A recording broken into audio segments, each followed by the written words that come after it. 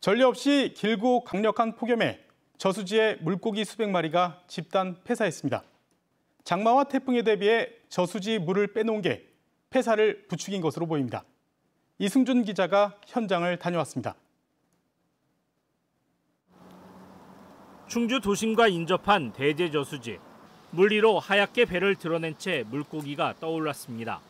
이 구역에서만 어림잡아 수백 마리. 죽은 물고기는 눈이 빨갛게 변하는 등 썩기 시작했습니다. 아직 숨이 붙어 있는 물고기는 지느러미를 움직여보고 아가미로 힘겹게 숨을 쉬어보지만 살아날 가능성은 없어 보입니다.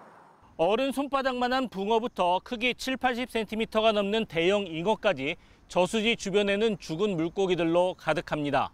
물고기가 집단 폐사한 것은 어제 오전.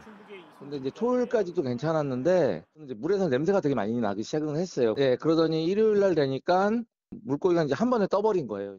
수온이 오르면 물속의 산소량이 줄게 되는데 연일 30도를 넘는 폭염으로 한계에 이르렀습니다. 연일 이어지는 무더위에 수온이 저수지 수온이 올라가다 보니까 붕어들이 고기들이 못 버티고 이렇게 집단 폐사한 것 같습니다.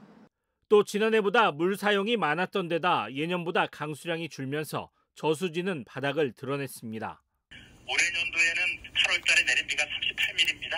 그래서 한 19% 정도 이렇게 강수량이 됩니다. 음.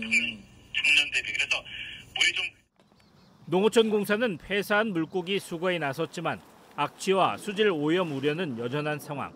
무엇보다 폭염이 계속되는 한 근본적으로 해결하기 어려워 보입니다. 양식장에서도 많이 물고기 죽는다는 얘기가 있는데 어, 이런 하천에서도 물고기 죽는 게 나오니까 지구 온난화가 많이 실감되기도 하고 현재 충북도 내 저수지 상당수가 50% 이하의 저수율을 보이는 가운데 폭염이 이어지면서 다른 저수지나 하천에서도 유사한 사태가 벌어질 우려도 제기됩니다. MBC 뉴스 이승준입니다.